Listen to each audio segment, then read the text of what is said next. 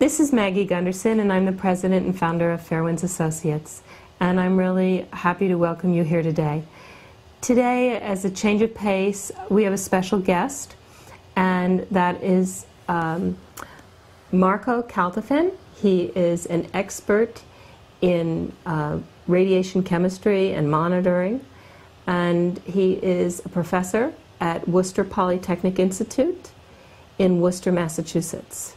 So um, he will give you a little bit about his background and introduce himself, but I just want to thank you, all of our viewers, for watching us so often and watching Arnie's videos. And uh, we wanted to answer a lot of the questions that you've had. We've had hundreds of emails asking us about radiation. And as um, an expert witness in paralegal services firm, I'm a paralegal, and uh, we have other experts who work with us in the firm. We wanted to bring you expert testimony from someone who knows more about radiation than we do. Arnie, as a nuclear engineer, knows what happens inside the reactor and how um, those um, actions uh, create the issues that have happened at Fukushima and at other plants across the country. But now uh, Marco will be able to talk to you about what happens when the radiation comes out and where it's going. Marco, thank you so much for joining us. Thank you very much for having me. Actually, I'm working on a dissertation. I'm just an older grad student at Worcester Polytechnic Institute. And what my research is in is nuclear fallout and tracking it over long distances. One of the things that's very interesting about the Fukushima radiation releases is that we often hear about oh, general radiation levels, things people measure by sticking a Geiger counter out a car window, for instance. What I'm looking at are microscopic or even nanoscale particles that contain highly radioactive materials that are small enough that they can just blow with the wind and sometimes travel great distances. In our research, we've been able to track some of these particles hundreds of miles, even thousands of miles. And what happens is, unlike the radiation we're seeing in Japan, where someone can just move, drive away from a high radiation zone, these particles travel globally, and if they're inhaled, if someone breathes them in, you actually carry that with you in your body. It has a very different impact. And it's the kind of radiation where background doesn't mean as much. It's more a matter of how do we avoid eating or breathing in those radioactive particles? That's really um, interesting material for us to hear, and that, that answers a lot of the questions that, that we've been getting. What, how is this different than, say, dental x rays? Well, the thing about a dental x ray is it's a set amount of radiation. We can predict better what is going to happen to someone who has that kind of dose, that amount of radioactivity. With a particle, it's very different. A single particle can carry a pretty significant amount of radiation. And wherever it lands in your body, it can start to damage that tissue or kill cells. Cells that actually survive that kind of irradiation could potentially form a tumor. So we worry about how these particles travel, whether they're traveling through the air and we breathe them in, or whether they get absorbed into our food and water. We should behave differently if we want to avoid that kind of radiation. And the thing about a particle, of course, is it travels a long distance, but it doesn't change very much. And now we're beginning to see some of these radioactive particles appearing in air in the United States that look very much like the particles we find in Japan. Our early data is showing that particles that contain americium, europium, bismuth, uh, uranium, and other radioactive materials are found in the air and in the soil in Japan, and we're starting to see particles like that appearing on the west coast of the US in some of our other air samples. So, if I understand correctly what you've said, for example, radiation from cigarettes, that would be something internal? Correct. There's a certain amount of natural radiation in a cigarette. We take it into our lungs, and I think by now we all know that that's just one of the many reasons we get lung cancer from smoking. What about you know, we hear all the time, well, the radiation you're receiving is, is just like an airplane trip or a chest x ray in that sense. Like, you know, what's the difference? Can you explain that to us? Of course, these are short-term exposures that we're comparing the radiation to. A plane trip is a few hours. Uh, a dental x-ray takes a few moments. Your exposure is over. The trouble with particles is we can get these particles into our homes where they're going to constantly recycle and continue to expose people. That radiation exposure doesn't end after a few moments or a few hours. It can be continuous. And if we do absorb it in our bodies, and then we're going to get that dose potentially for the rest of our lives. So it's very important to distinguish radiation caused by these particles in dust and take extra measures to reduce that exposure. So, people leaving the contaminated zone, for example, are still going to be getting these particles, these little pieces that we can't see when they breathe. What's happening is these particles tend to stick to the nearest surface. They can stick to our clothing, to our skin, uh, to concrete, even to things like carpeting or plant material. So if we want to reduce the exposure, we have to either prevent those particles from landing in the first place or clean them off or get rid of the affected clothing or even the affected soil that has to be removed. Anything to reduce that long-term exposure to the radioactive particles. So you found, your testing has found this, um, these little particles contaminated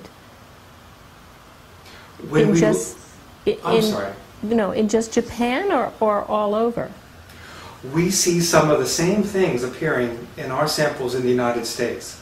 What we've done at Worcester Polytech is set up a half dozen air sampling stations.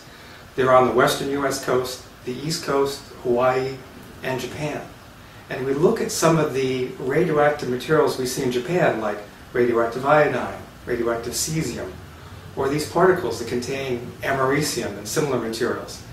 And we see the same signature in our samples from the United States. There are less of them, but they're still there, and they're clearly related to the Fukushima release. Wow, that's um, that's serious. What can you tell us more? What does that mean for us if that uh, fine dust is escaping from Fukushima all over the northern hemisphere? Is it all over the world? I would think that we'd be seeing more of it in the northern hemisphere. Back in the uh, 1960s, when we did atmospheric nuclear testing, we tended to see the radiation landing in about the same latitude where the bombs were detonated. So if you detonated it in the northern hemisphere, you tended to find it in the northern hemisphere. The United States and North America, of course, is at about the same latitude as Japan. So we would expect to find more of their releases here in the US. And just as a, a, a rule of thumb here, the kinds of levels that we're talking about in Japan, nationwide, are probably a good deal larger than even the peak levels of the atomic test period back in the 1950s and 60s. So what we have now coming from Fukushima is larger than the bomb testing from the 50s and 60s? Well, the signal that they're getting in Japan certainly is. It remains to be seen how much of that radioactivity is going to come to the United States. Again, our concern is because it exists as a dust particle, it can actually land somewhere and continuously expose someone. It also means that because it's a physical thing, we actually have some chemistry that might help us deal with it. But there's going to be a lot more monitoring required as we try and figure out how big a problem this is going to be in the United States. Certainly we can detect it, and we can see that these particles are here, but we need to start looking at some of the things like sensitive food crops, the kinds of plant material that we know tend to collect radioactive particles and incorporate them into the plant.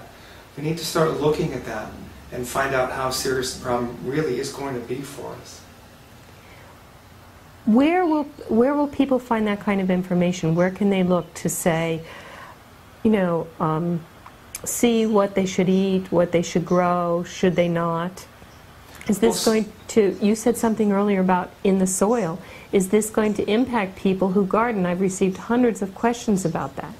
It potentially could. There are some long-lived uh, materials like cesium that stay radioactive for a long time. And cesium tends to do the same thing in soil that potassium does. I think a lot of gardeners are familiar with uh, potassium-based fertilizers. Uh, potash contains potassium. Cesium, even though it's radioactive, mimics that potassium. So it's going to behave the same way that the potassium does. That's a concern. That's going to take a consistent sampling effort to see how much of that is being incorporated into the food plants before they get into the market. We did something similar with the BP oil spill, where the FDA and independent agencies, including my institute, tested seafood, oysters, crabs, and found oil in those uh, commercial products. We're going to have to have an even bigger effort now to look for radiation because this is going to be a nationwide problem, not just limited to one region of the country. But I read something about the EPA not testing fish, choosing not to test fish, and that some of the monitoring has been turned off. Um, what do we do about that? I haven't seen any data for fish or for agricultural products except milk at this point. We are detecting levels of radiation in milk because of the radioactive iodine that tends to accumulate in dairy products. I think what we need to do is expand what we're doing and look at crops that might be sensitive to picking up radiation from dusty fallout. And without the numbers, we're really not informed enough to make any decisions. So, what should people do at this point? I think what people should do is remember that we have learned to try and deal with toxic dust for a long time. I think through public education, we've dramatically reduced exposures to lead in dust for children. It was a major public health issue, and we were able to take some corrective action and deal with the problem. We may need to, based on what our data tells us, do something of a, a similar scale and try and find those ways that we can protect the public health by reducing exposure to radioactive dusts. But the first step is going to be testing. Without the numbers, we really don't know how much we have to proceed, how much of this corrective action needs to be taken. So, in answer to our viewers and, and, and listeners, um, what should, should they be doing now? I, people have called me and I've said, contact your mayor, your governor, your state reps, and most importantly, your federal reps. Let's get the monitoring system back up and working and doing what it needs to do to protect us. Am I on target?